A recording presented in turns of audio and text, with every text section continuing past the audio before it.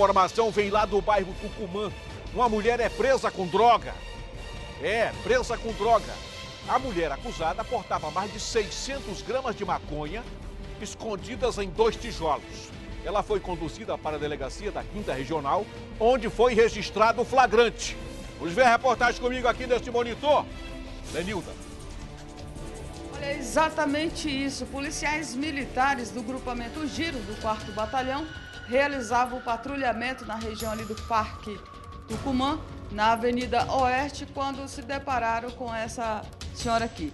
Elianise de Souza Pinheiro, 29 anos, mais conhecida pelo apelido de Loura, ela estaria, segundo a visão da polícia, em atitude suspeita.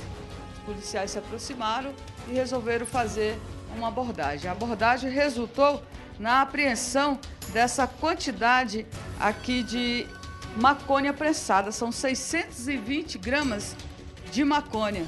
Vou conversar aqui com a Elianísia. Ela está bastante tranquila. Você não tem passagem pela polícia, né? Nunca tive. Você está tranquila assim? Você já caiu a ficha que você vai ser indiciada por tráfico de entorpecente daqui é o presídio? É porque eu já sei, mas até porque a injustiça é grande, tem muita injustiça no mundo, Lenilda. Então por isso eu já paguei uma coisa sem eu dever, que eu perdi minha filha por ordem de um juiz então eu aprendi a buscar poder. E nesse poder que eu fui pegar e tô aqui. Isso aí. Você perdeu sua filha por quê? Falta do dinheiro, ganância. Falta sem dinheiro? Você não cometeu algum crime? Aí você se revoltou com a sociedade, com o sistema. Mas piorou mais a situação? É porque já apanhei de policial sem eu dever, que me levaram pra estrada pra me matar, eu grávida de sete meses você tinha feito? Não tinha feito nada. Aqui em Rio Branco ou lá no município do seu natural? Fui aqui mesmo, no. Você mora lá?